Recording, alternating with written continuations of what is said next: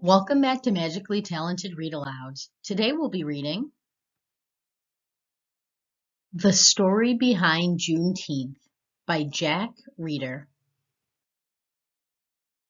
Here is the table of contents. We'll be reading about June 19th, slavery in the United States, the Emancipation Proclamation, Juneteenth, a forgotten holiday, celebrating freedom, and on the rise. June 19th. Juneteenth. June 19th is a very important day. It marks the end of slavery in the United States. For a long time, not many people celebrated this historic holiday. It's only recently that more people have started to remember and celebrate Juneteenth again.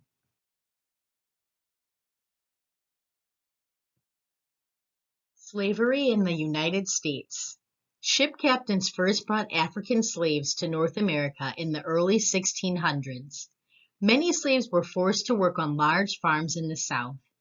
By the 1700s, many people began realizing slavery was bad. By 1804, all the northern states had started to end slavery.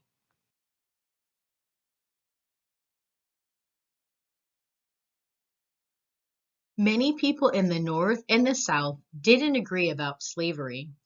As more states joined the United States, more people became divided on the issue. The Civil War began in 1861 because of the disagreements between the North and the South.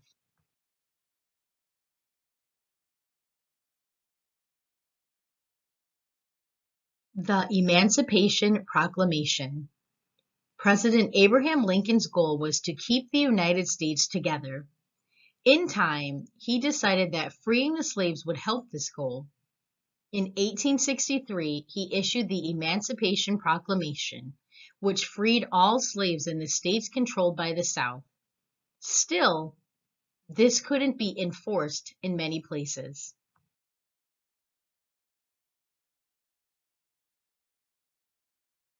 Juneteenth.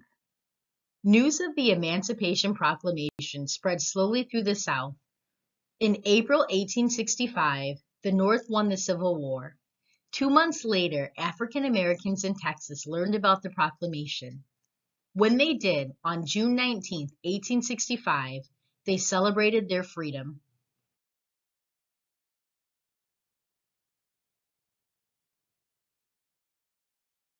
Former slaves and others celebrated Juneteenth which is short for June 19th, for the first time in 1866. Celebrations soon spread to other states. Traditions, including praying, singing, and wearing new clothes to mark their freedom, soon became part of the holiday for many African Americans. People continue these traditions today.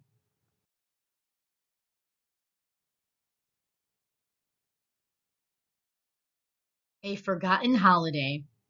Even though many African Americans celebrated Juneteenth during the late 1800s, it never became an official holiday in the United States. The years after the Civil War were hard for the states in the South. Few people in power were interested in celebrating the end of slavery. Note, Juneteenth became a federal holiday in 2021 and is celebrated on June 19th.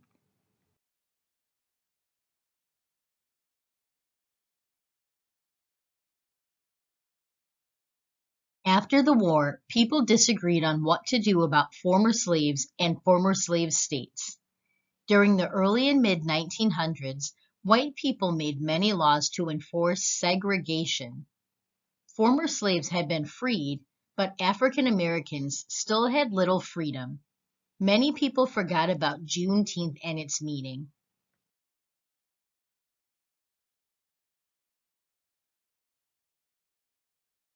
Celebrating freedom.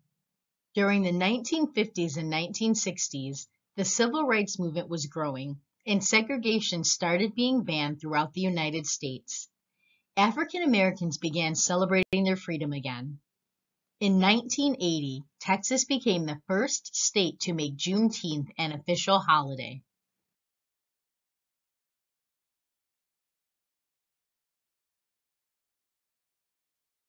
Here is a look at the glossary of important words that we have encountered throughout the text.